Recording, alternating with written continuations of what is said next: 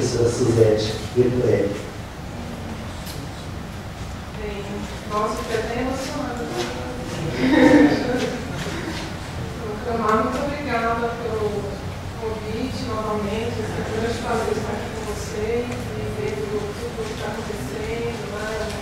crescimento assim, conceitual, emocional, né? nas pesquisas. Parabéns por todas as feitas e a UFG.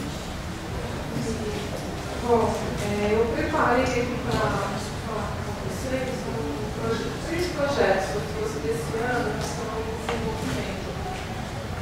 O primeiro é sobre uma, a exposição que é tecnologia, né, que vai acontecer na Universidade de Brasília, é, que está sendo é, realizada pela UIV, mas vai, ser, é, vai acontecer no Museu Nacional da República de 1 a 31 de outubro queria convidar todos vocês lá para o curso de arte e tecnologia. E, então, a ideia é trabalhar com exóticos né, e juntando a questão do faça você mesmo, né, que é aquele hardware livre, com essa poética né, do exóticos e também estou muito envolvida agora com é, um projeto do Ministério do Planejamento sobre software livre também, junto com o pessoal do software brasileiro. Então, a gente está pensando é, nessa exposição, trabalhar com essas duas questões. Depois, uma outra exposição, né, que é um convite da Priscila Aranhas para realizar o Passo das Artes, em julho, é um, e aí a gente está chamando de AER mais T, que é trabalhar a ideia da realidade aumentada, com gamificação, vou explicar um pouquinho. Né. E um terceiro projeto chamado Acessibilidade pela Arte, que é é um recurso recebido da, da FAP, né, do, da Fundação de Apoio à Pesquisa, em que também vai é, em conversa, né, é interessante com é, o MEC, né, Ministério Então, a exposição, a ideia do projeto né, Escola Faça Você Mesmo, né, a poética tem como referência a prática dos esforços, que ocorre desde a antiguidade greco-romana, e o transhumanismo, né? Tentando, assim, é um conceito, o transhumanismo a gente está discutindo muito no laboratório, né? E entre os objetivos, análise científica sobre a ciência da tecnologia para superar as limitações humanas, intelectuais, físicas e psicológicas. Né? Então, os conceitos né, são, é, são levantados aí enquanto robótica, robótica, os híbridos homem-máquina, e ainda a interação humana e máquinas computacionais a tecnologia que a gente está pensando em utilizar né, é a faça você mesmo, né, software rápido aberto e tecnologias aliadas à verificação. Então, o objetivo é proporcionar a fixação criar esforços, próteses para seu corpo ou body transformation. É, o material a ser empregado ser a impressora 3D, né, rádio aberto, que é o que a gente está montando, o software arte, que é de acessibilidade pela Arte, a gente vai aproveitar para usar também essa exposição que, é, que vai permitir né, a conversão dos produtos analógicos para a impressora 3D. Né? No computador a gente está usando aqui essa chassi O processo né, é, é assim, né, o da exposição será incentivado a desenhar e imprimir de forma 3D como santeiros ou milagreiros, né, que fabricam os esboços de acordo com o milagre e o pedido os objetos impressos ficam à exposição, fazem parte dela, como visuais. Destaca, então, né, o pensamento de corpo como fonte científica do sujeito no estabelecimento, revelando de formas típicas a cultura popular de compreensão dos vínculos sociais das condições materiais de vida, ou seja, esboços, testemunhos de subjetividade mais ou menos isso que a gente acha que vai acontecer. Você tem os esboços ofertados e os esboços já quando é, a pessoa já está curada. É, e de onde vem essa ideia, assim, que a gente sempre está trabalhando em grupo, né? toda coisa dos, das próteses, né? como pensando talvez né, nesse caminho do milagre, poder é, visualizar outras coisas, né, do transhumanismo mesmo, né, que a gente começa a transformar o corpo, colocando computadores dentro dele, ainda de uma forma bem assim, estranha, né? É, é, do Monstermark, né? Acho que é um pouco essa, essa inspiração, né? Essa pessoa me inspira muito nessa coisa. E a ideia também desses autômatos, né? Quando a gente está trabalhando com a impressora, né? Que gosta também, é, ela vai ficar assim, a gente está imaginando, né? Os arquivos empilhados, né? Que vão ser produzidos. E, bom, aí a gente pensa no procedimento dessa ideia do autômato com a impressora, né? Então, o que é o autômato? Né? A palavra vem do grego, né? significa aquele que se move por si próprio. Segundo a mitologia grega, Efésios teria criado o primeiro autômato que seria os primeiros, né? que serviam de ajudante em suas tarefas. Segundo Homero, Efésios teria criado as tribos, ou tripés, que teriam rodas de ouro, que as permitiam sozinhas para as assembleias dos deuses, uma maravilha de se né? Então, esse também é um autômato né, que abriu a Grécia e, e ajudava a plantar milho, né, funcionava é, a computação dele era através dessas cordinhas que iam se soltando e permitiam então ele cumprir a tarefa dele. Aqui também é como referência, né, a gente tem o já do Canson, né, Caracolido, os japoneses do século XVII, os autômatos né, de Guerra Jacques Dross, eles eram um é escritor, outro pianista, um desenhista. E aqui também essas referências né, que a gente vive também transitando, né, como né, os vídeos, clipes, alvazíos, né, do liberatório, desses desenhos que a gente mesmo vai pensando,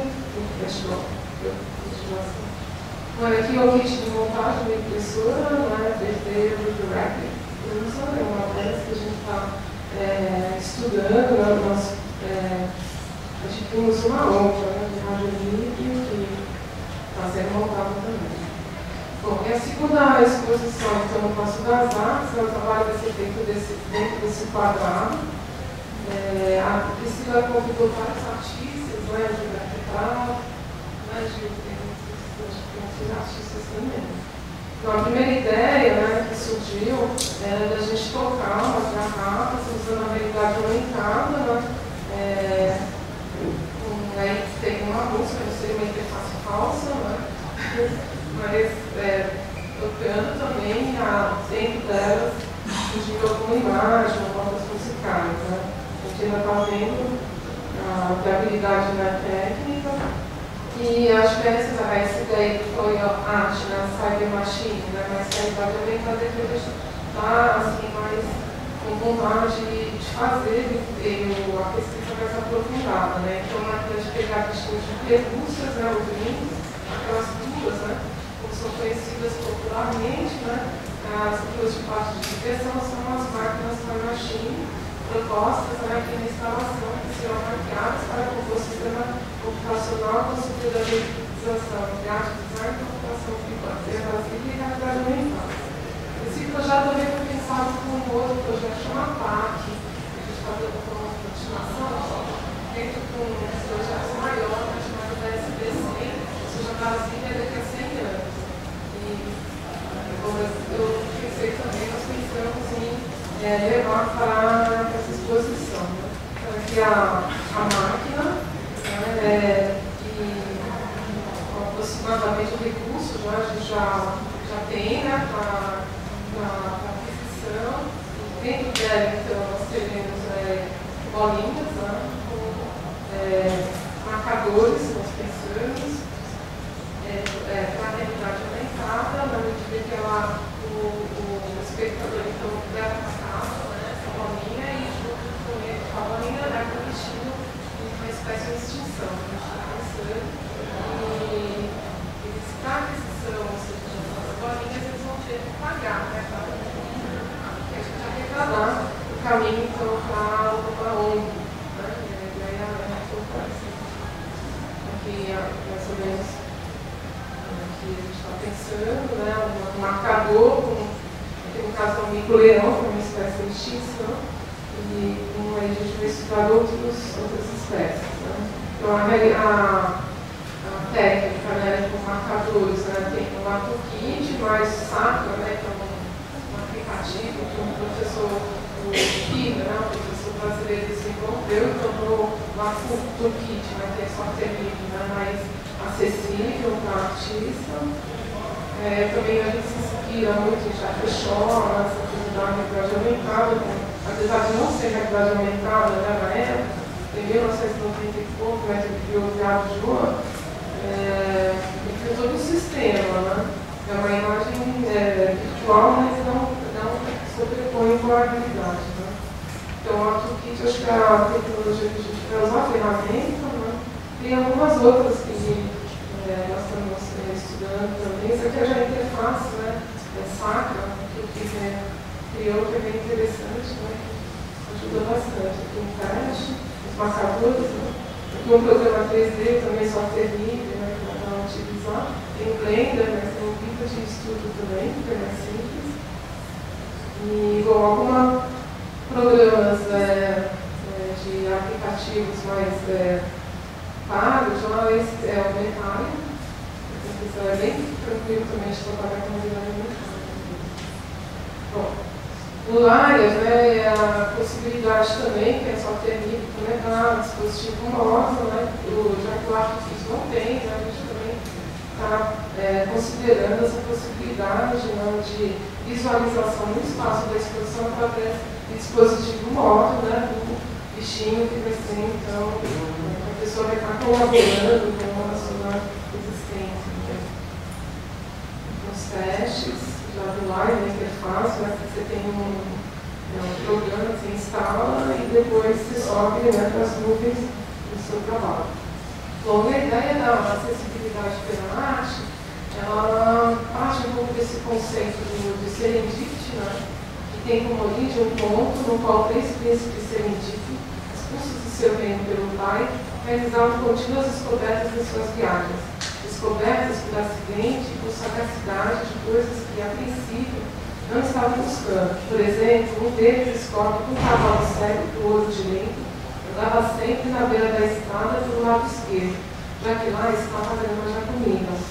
Palavra recentemente incorporada no português significa ter uma descoberta, de forma acidental, de algo que tenha desperto muito valor para alguém, que seja útil pode ainda significar a descoberta, também acidental, de alguma coisa que seja agradável.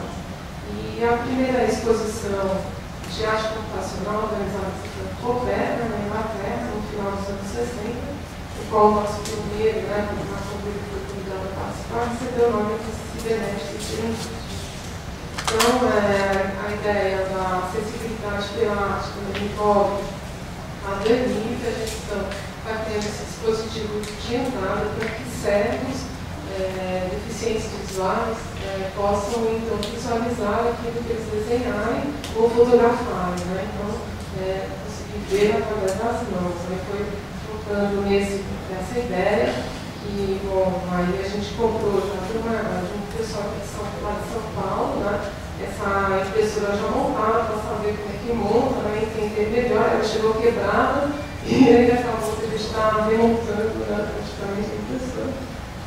E aqui a gente já fez alguns testes, então com o pessoal cego, e a partir desse teste né, nós começamos a trabalhar né, está é, desenvolvendo essa parte, são quatro bolsistas, né, desenvolvendo essa parte mesmo da leitura, né, da, da entrada de dados, ainda tinha muito ruído, aí a gente tá, então está pensando já trabalhar com a ideia de pixel 3D, né, cubinhos mesmo, e montando então um pouco uh, o resultado como seria. Né? O programa está avançando, já está fazendo as perspectivas. E, bom, com esse projeto, nós fomos então ao Ministério da Educação, e, e, lá nós encontramos um pessoal muito interessado nisso, que é da Secretaria de Acessibilidade é, a Martinha é cega, conhece ela? Aí ela então ficou muito interessada assim, é, na perspectiva né, de, é, de levar para as escolas, porque esse projeto é, foi feito para a escola, né, para ser inserido em escolas especiais, que aceitem alunos especiais. Aí ela foi interessada também não só da gente levar alguma coisa pronta, mas fazer um levantamento no Brasil um curso através né, de educação à distância, de ter know-how também, né, cursos de especialização. E da metodologia né, que a gente está utilizando também, né, que é fazer um levantamento, é, de quem tem interesse nas escolas especiais participarem desse curso, que tenha vontade de mostrar alguma coisa na sua escola, daquele solução do problema daquela escola, daquela região, daquela cultura. Ou seja, a ideia né, de uma coisa pronta que você leva está sendo mudada pela própria intenção de que as pessoas sejam talvez pesquisadores desde a escola fundamental, né, ensino médio, até a universidade, para resolver problemas do estilo Paulo Freire, né? que é um pouco esse caminho que a gente está é, adotando, então o primeiro curso, a gente está construindo curso com MEC, não está levando nada pronto é? nem curso, né? a gente só começou com a metodologia, né? que a metodologia da educação à distância é interessante, porque você pode reunir várias pessoas, o Brasil tem mais ou menos problemas semelhantes, né? e que possam se ajudar, que não sejam só artistas, né? podem ser de outras áreas, né? usando mais aquela ideia da, da prática transdisciplinar, né? mais do que disciplinar. Então, é, por aí então, esse, esse projeto está caminhando né, de uma coisa que a gente levaria pronta né, para uma escola. Claro que isso vai poder ser levado também, mas para uma construção em conjunto com o que eles estão chamando de escola inovadora. Acho que é isso. Obrigada.